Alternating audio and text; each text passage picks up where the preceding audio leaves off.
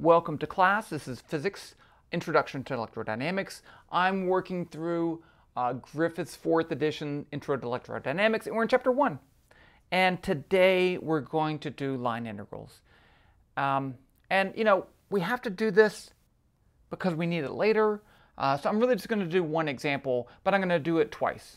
I'm going to technically do two examples. Okay, so the, the problem is from the book, it gives a vector function, and we want to integrate the line integral from point 0, 0, 0 to point 1, 1, 1 along that path, and then do it along a straight path. So I'm going to do it along that path, straight path, and then I'm going to do the straight path in Python, because you know I like to do things in Python. You know that, right? So what is a line integral? I think the best version for you to think about for a line integral is the definition of work because that's really what we're going to do. We're going to deal with electric potential, and, and that's from the work, right? That's where potentials come from. So if I have a constant force and a constant displacement, I can say the work is F dot delta R. So we could do this for any function. I'm going to call it the work, even though they have a v function right there for the velocity. Or it's not velocity, it's just a v. Now, what if the force is not constant? What if delta r is not constant? Let's just imagine that we have some path like this. So here I have some point A to right there, and I'm going along a curved path like that. And I want to calculate f dot dr. Well, let's just let's just break this into short little pieces. So I'm going to have a dr right there, a dr, a dr. I'm just breaking into three. And then during each one of these, I have a force. Let's say the f is that way, and then it's like that, and then it's like that. So during each of these short little intervals, I can calculate f dot delta r. Uh, it's, I have the vector force, I have delta r as a vector, I can do the dot product. And then I can just add up f dot delta r along that whole path. Well, could we do that an infinite number of times and turn it into an integral? Yes, we can. Okay, so that's what we're going to do here. We're going to integrate this function as a dot product. And we're going to use this, these points right here. I'm going to erase the points because we don't really need to know them. Um, it's kind of hard to draw anyway. It's just easy to remember. Origin, x-axis, xy-axis, xyz-axis, right? One, one, one. Okay, so we're going to use Cartesian coordinates here. You don't have to do this in Cartesian coordinates. But in general, I'm going to say the work is the integral from A to B. Uh, let's call this O, O O to C. So it's going to call this, I call this point O, A, B, C. So this is point O to C of V dot, they use DL, I'll use DL. The book uses DL. Okay, V dot DL. Because that's what we're doing. It's, it's, it's like work. It is just like work. A line integral is just like work. Now, in this case, we have uh, four unique segments. So we're going to have four different works. So I can say work is going to be work 1 plus work 2 plus work 3 plus work 4. That's right. 1, 2, 3. No, 3. There's just three of them. So we're going to call this uh, work 1 is going to be the integral from O to A, V dot dl. Work 2 is the integral from A to B of V dot dl, and so forth, and work 3, so forth. And that matters. Okay, so let's just break it down one piece at a time. Let's just calculate work one. That's all I want to do. Calculate the work along that first path. So this is the work one is going to be the integral from point O to point A of V dot dl. Now, I know, I know V. What about dl? What's my infinitesimal path length? Now, be careful. It, you wouldn't, it wouldn't matter here, but you have to be very careful. In Cartesian coordinates, dl is always going to be the same thing. dl is going to be the vector dx, dy, dz. Now, you may say to yourself, self, hey, uh, we're only moving in the x direction along this first path, so shouldn't those be zeros? No, they should not. Uh, if you were moving in the negative x direction, should those be negative? No, they should not. Those things come from the limits of integration and the path along that you get, that you move. So we're going to keep dl that as that. For Cartesian coordinates, that's your path length element. Well, now I can do the dot product. So v dot dl is the dot product between this vector and that vector. So this is going to be x squared dx plus 2yz dy plus y squared dz, right? I just took the dot product between those two vectors. I can do that, right? Okay, now, do we have a relationship between our x, y, and z? Well, let's think about this. I'm going to just uh, sketch out this diagram right here. So here's, here's where we're starting, and we're going right here, and this is the x direction. So this is our path. So my path is an equation. What is the equation of my path? Well, the equation of my path is uh, y equal, it's a 3D line, right? So I need two equations. y equals 0, z equals 0. That's the equation of my line. x goes from 0 to 1, but that's, that's my path, right? So if y is 0, then dy is the derivative of this is dy. The derivative of 0 is, that's right, 0. The derivative of z, dz, is 0. Uh, so now I can use these four things in my equation up here. So I get work 1 is going to be the integral. Uh, let's just leave it as 0.0 to a because we don't know our, our limits of integration yet. I have x squared, I have dx, I have plus 2, y is 0, z is 0, dy is 0, so those are all 0. Here I have y squared, y is 0, dz is 0. So this just becomes the integral from point O to point A, but I'm only integrating over x. So I, I need to know my x value. So this is x equals 0 to x equals 1, x squared dx. Now, I think we can integrate that. So let's do that. I get x cubed over 3 from 0 to 1, 1 third. Okay, so we're going to write, we're going to keep a little track up here. Work 1 is one third. See how we did that?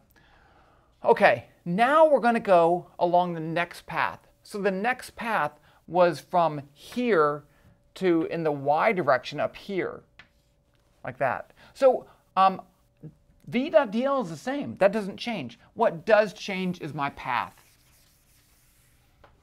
So in this case, my path is going to be equal to uh, x equals 1 uh, z equals 0. And in that case, dx is 0. dz is 0. So if I put those into my integral up here, I get work 2 is the integral from uh, b to c. Wait, I went from 0 to a, a to b. a to b. Uh, I'm going to put everything in. x squared is 1 because x is 1, dx is 0, plus uh, 2 times y times z is 0, dy, plus uh, y squared times 0. So I get 0, 0, 0. And it doesn't really matter what I integrate along, right? I get 0. So work 2, 0. Okay, now we're on that last path. The last path is going from here in the z direction that way. So I'm going to say x is equal to 1, y is equal to 1, um, and that's it. And so dx is 0, dy is 0. So work 3 is going to be the integral from point B to C of x squared times dx, which is 0, and x is 1 along that path. So 1 times 0. And then I have plus 2 times y is 1 times z is a variable I don't know. It changes. Uh, and then, but dy is 0. And then finally I get y squared, which is 1, right? Because y is equal to 1 and dz. So the only thing that survives is my integral in the z direction. So it's going to be the integral from z equals 0 to z equals 1. Because my z value here is 0, my z value here is 1 of dz. And so I get, uh, I can integrate that, z from 0 to 1, and that's going to be equal to 1. I had to think for a second there. 1. Okay, so work 3 is 1. So now my total work is going to be the sum of those. So I get work is 1 third plus 0 plus 3 thirds, 4 thirds. Did it. We got the work. Okay, now what if we do it in one fell swoop, right? So what if we go from point O to C in a straight line? Um, let's do that. Now, you may say, well, we already did it because we went from one point to the other and the work doesn't depend on the path. Aha, the work doesn't depend on the path for a conservative field. We don't know if this is a conservative field or not. So that don't cheat that way. So let's do this. I still have uh, v dot dl. Remember, that does not change. That depends on your coordinate system and your function. It does not depend on where you're going. That comes from the path. So that's still going to be the same thing, x squared dx plus 2yz dy plus y squared dz. Now my path. Okay, so what's the, the line from the origin to the point 111? Um, it's a it's a 3D line, okay? But I can actually write this as x is equal to a constant, y is equal to a constant, z is equal to a constant. That's the definition. Or x equals y equals z. Okay, and that's important. So now we can convert this, and then I can get this. dx equals dy equals dz. So now I don't, I can switch it all over to one variable. Let's switch everything over to the x variable. So now my work is going to be the integral from, I'm using x, so I'm going to say x is 0 to 1, that's my x value, x squared dx plus, okay, now here I have 2y, but y is equal to x, x, z is equal to x. So I get x times x is x squared, and then I get dx. And then over here, I get y squared, which is x squared, dx is dz is x. So this is going to be the integral from 0, x equals 0 to 1. I have x squared plus 2x squared plus 1x squared is 3x squared dx. So that's going to be 3 times x cubed over 3 from 0 to 1. Did I mess up here? Because this is going to give me, well, this is going to give me 3 thirds. I should get 4 thirds. Uh, okay, wait. x squared, 2x squared, x squared. x squared, oh, this... I knew the answer, that's how I knew I'd made a mistake. X squared, I did, I did simple math. Okay, so I get 4 thirds. And that's the same answer that we got before, right? So does that mean it's a conservative field? No, it doesn't. You have to do a different test. Um, just because two different paths give the same thing does not mean it's conservative. Uh, we'll get into that later. Okay, but we did it along two different paths. We got the same answer. Now we're going to do it numerically. So numerically, I'm going to break this into finite steps in Python. So that's going to be, it's going to be kind of cool. Okay. So I have my same function. But now my DL is not that. So let's just draw this in the xy plane. I'm going to go from point O to point C up here. And this is 1, 1, 1. So I can calculate the vector, I'll calculate the vector r. So r is going to be uh, point C minus point O right? That's the displacement from here to there. So I have that. Now I can say uh, d, I'm going to call it dr. dr is going to be equal to r over n, where n is 100. So I want to take 100 steps. That's my displacement for each one of these little steps. So I'm going to get a delta r, delta r, delta r, delta r. Now I just need to calculate the value of the vector field at each one of those locations, whatever it may be and then do d work is going to be v at that point, r, dot dr. And then I add up all the works. Let's do it. I'm not going to do it graphically. I'm just going to do it uh, in Python. Okay, so the first thing that we want to do is using Python is to uh, define our function, our vector function. So I'm going to go ahead and do that. I'm going to say def, def v of rt. So in this case, I'm going to pass it some vector value. I want to pass it a vector, and it's going to return a vector. In the past, I did it as x, y, z, but I'm going to pass it a vector. And so then I'm going to return the vector uh, x squared, which is the x component of my vector that I passed to it squared. So that's rt dot x squared. And then my y component is going to be uh, 2yz. So 2 times rt dot y times rt dot z. And then my z component is y squared. Uh, so rt dot y squared. So that I can give it any vector value and it will return uh, a vector function. Okay, so now I need to calculate, I'm going to say point O is vector 0, 0, 0. Uh, point C is equal to vector 1, 1, 1. So the vector R, let's call it, I'm just going to do dr in one fell swoop. N is equal to 100. dr is going to be equal to PC minus PO divided by N right? So PC minus PO is the vector from the initial point to the final point. So that will be a straight line. Now, if you have curved lines, you have to do something different.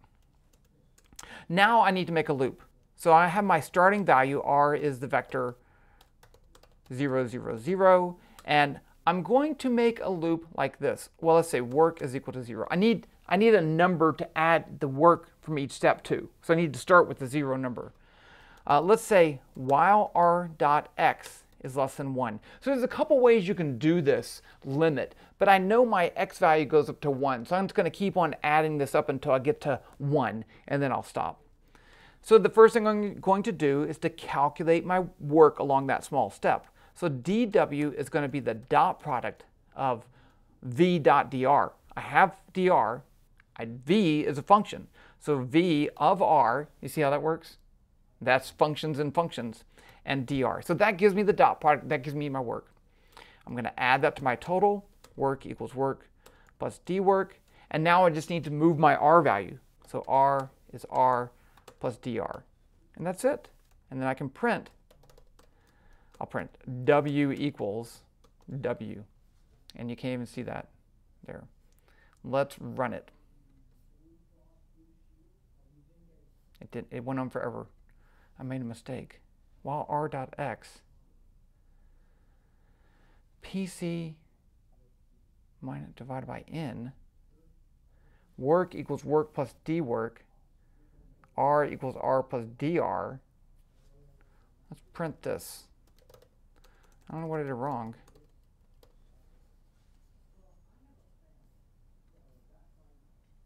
Okay, so that works.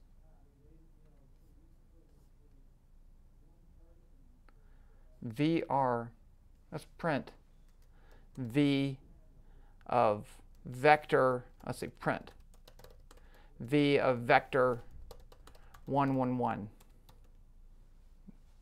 See, is that too many prints? No, that should work.